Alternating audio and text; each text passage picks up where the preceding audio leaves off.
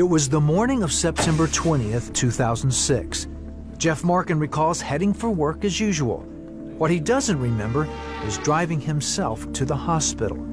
He had called his boss and told him he didn't feel well. His boss was concerned and convinced Jeff to go to the emergency room. Somehow Jeff made it. As he got there, he collapsed. Dr. Chauncey Crandall was doing rounds in the intensive care unit that morning. An alert call came over the PA system uh, that someone had arrived at the hospital with a massive, deadly heart attack. And then a second call uh, went out over the PA system and specifically asked for me because I was the cardiologist on that day. When I arrived there, it was like a war zone. It was like being in battle. It was chaos. Everyone there fighting to keep this man alive. The ER staff worked on Jeff for 40 minutes. They shocked him a dozen times. Despite their efforts, there was no response. Once Dr. Crandall decided the team had done everything possible, he called the time of death. While a nurse prepared Jeff's body for the morgue, Dr. Crandall updated the charts. Well, as soon as my note was completed, I walked out through the door to this emergency room, I heard this voice say, Turn around and pray for that man. And I wanted to ignore that voice because I said to myself, How can I pray for that man? He's dead. He's gone. There's no life in him.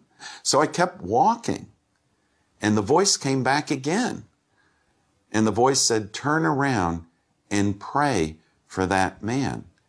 And I stopped and I thought to myself, I need to honor the Lord. So I turned around at the doorway and I walked to the side of the body, and the nurse was on the other side of the body, and she's looking at me like, What are you doing? Why are you here? And I stood there next to that corpse. And I opened my mouth, and these words came out Father God, I cry out for this man's soul. If he does not know you as his Lord and Savior, Father, raise him from the dead now in Jesus' name. I remember staring at bright lights and they were swirling around. Out of those uh, bright lights uh, came an image. And he told me that he was there to look over me and make sure that everything was going to be fine. And the other doctor walked in the room and I pointed to him. I said, Shock this man one more time. And he looked at me. He said, Dr. Crandall, we can't shock him. He's dead. There's no life in him. He's gone. And I said, For me, shock him one more time.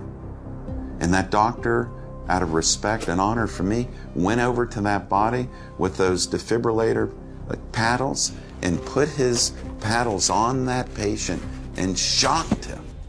Shocked Jeff. And immediately an instant heartbeat came back instant, perfect, regular, which we'd never seen before. And the nurse screamed, What have you done? And this perfect heartbeat came back. And then suddenly, this abdomen started moving and started breathing. And then a couple moments later, the fingers started twitching. They immediately moved Jeff to the intensive care unit. Three days later, Jeff woke up with no evidence of brain or organ damage. Once I, I woke up, my daughter Jillian was there, and that's when she told me what had happened. When I came in Monday morning, Jeff was sitting up in bed. And I said, Where, where were you that day that I prayed for you in the emergency room? And he said, Dr. Crandall, I was in total darkness. I just remember feeling And I was so disappointed. And I said, Jeff, what were you disappointed about? He said, I was alone for eternity. He asked me at that time if I was willing to accept God in my life and into my heart. I just opened my arms and accepted God. Uh, it was just a very emotional time. And, you know, I remember, you know, crying in his arms.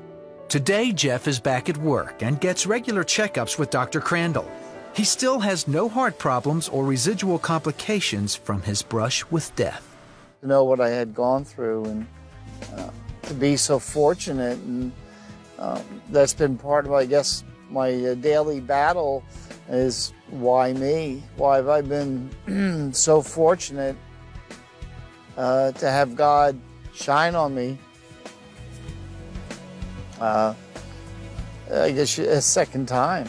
This day that I prayed for Jeff was a day of very little faith. It wasn't one of my big God days. And when I walked into that emergency room, to tell you the truth, I didn't want to stay and pray because I was so much in a rush with my work. But I prayed. And I didn't have a lot of faith backing that prayer up that day. But the Lord asked me to do it, so I honored the Lord and prayed. And that's all we need. Just a spark of faith like that mustard seed. Miracles are real, and they're real today.